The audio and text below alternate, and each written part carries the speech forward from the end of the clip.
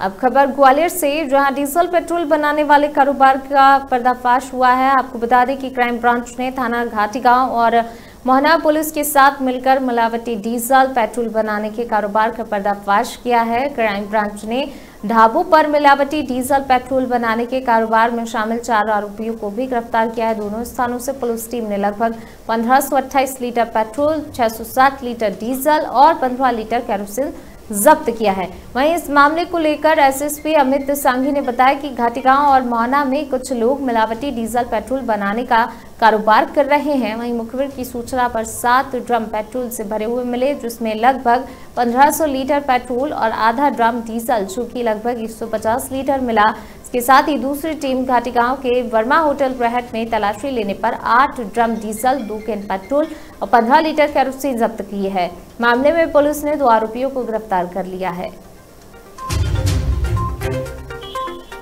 ये मोहना और घाटी गाँव में ये सूचना मिली थी कि कुछ लोग पेट्रोल और डीजल का अनाधिकृत भंडारण किए हुए हैं। उस पे से दोनों जगह क्राइम ब्रांच की टीम गई थी मोहना और घाटी गाँव में दोनों जगह मिला के लगभग 1500 लीटर डीजल और 600 लीटर से ज़्यादा पेट्रोल मिला है जिसको कि नियम अनुसार नहीं रखा जा सकता। इस पर दो लोगों के विरुद्ध मोहना में और दो के विरुद्ध घाटी गाँव में कार्रवाई की गई। कौन लोगों ने कब से काम कर रहे ये अभी इसमें पूछताछ की जा रही है। इसी एक्ट के तहत इसमें कार्रवाई की गई है परंतु शिकायत है कि लंबे समय से इस तरह का काम किया जा रहा था।